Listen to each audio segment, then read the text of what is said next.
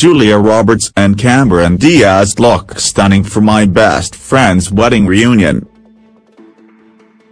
Their hit film became a fan favorite after its debut 22 years ago. And the cast of My Best Friend's Wedding reunited in style for Entertainment Weekly's annual romantic comedy issue. Julia Roberts stunned on the cover wearing a white suit while Cameron Diaz looked lovely in layers of pink teal for her first major magazine photo shoot in years. The cult classic was filmed in the summer of 1996 in Chicago by director P.J. Hogan and was Diaz's first major role. I mean, I was considering turning it down, she told Tim Stack. I got to work with these folks and Julia. It was, like, a huge break for me. Diaz then admitted that her sister-in-law Nicole Richie is obsessed with the flick and made her stop at various filming spots during a visit to the Windy City. She's like, remember when you were walking down the street right here and then and it was so much fun, Cameron said. I was like, yes, I think I do. She's like, I do and it really means a lot to me, so I would like for you to pretend like you do. Apostrophe. Rupert Everett admitted that his bad attitude nearly cost him the role as Robert's faux fiancé, George Downes, but he ultimately changed his ways and said it was a complete changing point for me. The last time I saw it, it kind of made me cry just thinking of how magic that time was, that summer, Everett said.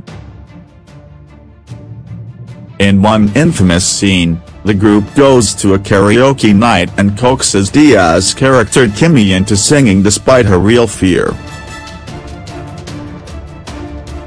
I was terrified to do that scene, for real, she said.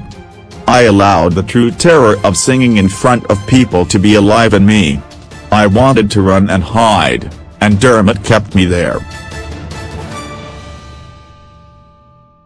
Despite the years away from the silver screen, Cameron admitted that fans still flock to her with kind words about the movie. It's just this joyous feeling that you get off of them. I appreciate that so much. The film opened on June 20, 1997, to $21 million and ended up with a domestic gross of $127 million. The classic film tells the story of two friends, Julia Roberts and Dermot Mulroney, who made a pact to be married if either was single by the time they were 28 years old. When Roberts, who portrayed food critic Julianne Potter, found out that Mulroney was engaged to a 20-year-old college student, she devised a plan to stop the wedding and marry the man of her dreams. Their hit film became a fan favorite after its debut 22 years ago and the cast of My Best Friend's Wedding reunited in style for Entertainment Weekly's annual romantic comedy issue. Julia Roberts stunned on the cover wearing a white suit while Cameron Diaz looked lovely in layers of pink teal for her first major magazine photo shoot in years. The cult classic was filmed in the summer of 1996 in Chicago by director P.J. Hogan and was Diaz's first major role. I mean, I was considering turning it down, she told Tim Stack. I got to work with these folks and Julia. It was, like, a huge break for me.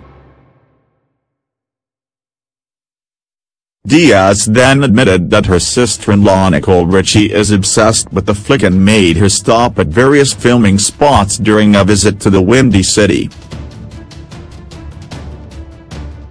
She's like, remember when you were walking down the street right here and then and it was so much fun, Cameron said. I was like, yes, I think I do. She's like, I do, and it really means a lot to me, so I would like for you to pretend like you do. Apostrophe. Rupert Everett admitted that his bad attitude nearly cost him the role as Robert's faux fiancé, George Downes, but he ultimately changed his ways and said it was a complete changing point for me.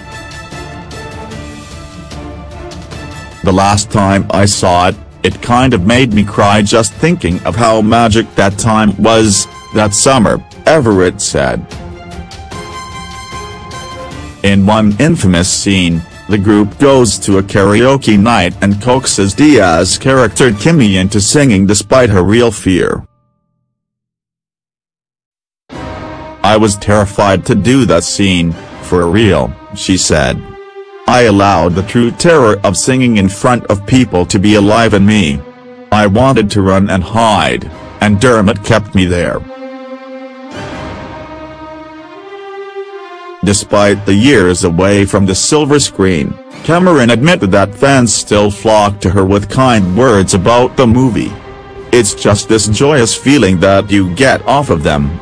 I appreciate that so much. The film opened on June 20, 1997, to $21 million and ended up with a domestic gross of $127 million. The classic film tells the story of two friends, Julia Roberts and Dermot Mulroney, who made a pact to be married if either was single by the time they were 28 years old. When Roberts, who portrayed food critic Julianne Potter, found out that Mulroney was engaged to a 20-year-old college student, she devised a plan to stop the wedding and marry the man of her dreams. Their hit film became a fan favorite after its debut 22 years ago. And the cast of My Best Friend's Wedding reunited in style for Entertainment Weekly's annual romantic comedy issue. Julia Roberts stunned on the cover wearing a white suit while Cameron Diaz looked lovely in layers of pink teal for her first major magazine photo shoot in years. The cult classic was filmed in the summer of 1996 in Chicago by director P.J. Hogan and was Diaz's first major role. I mean, I was considering turning it down, she told Tim Stack. I got to work with these folks and Julia. It was, like, a huge break for me.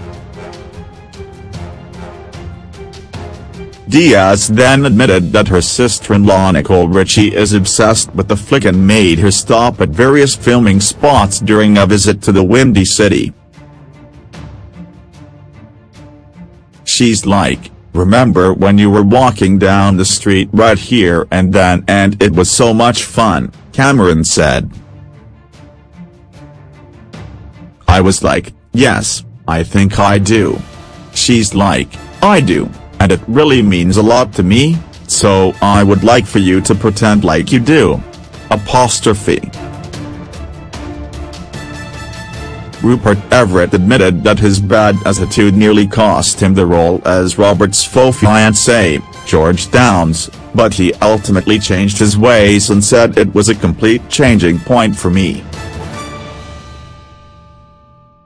The last time I saw it, it kind of made me cry just thinking of how magic that time was, that summer, Everett said. In one infamous scene, the group goes to a karaoke night and coaxes Diaz character Kimmy into singing despite her real fear. I was terrified to do that scene, for real, she said. I allowed the true terror of singing in front of people to be alive in me. I wanted to run and hide, and Dermot kept me there. Despite the years away from the silver screen, Cameron admitted that fans still flock to her with kind words about the movie. It's just this joyous feeling that you get off of them. I appreciate that so much. The film opened on June 20, 1997, to $21 million and ended up with a domestic gross of $127 million.